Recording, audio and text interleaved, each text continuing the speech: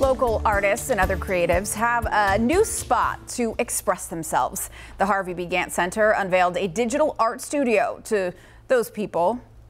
There are some resources and some space there to develop work. It features high quality production lights, photo shoot areas, editing equipment, you name it.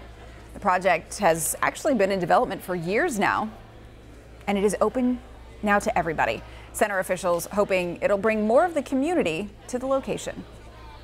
There will also be opportunities for Open Studio where people can come and co-work and really connect on what we're all doing and what we're all creating. I love this. Officials add that the digital studio is free for everyone to go and use.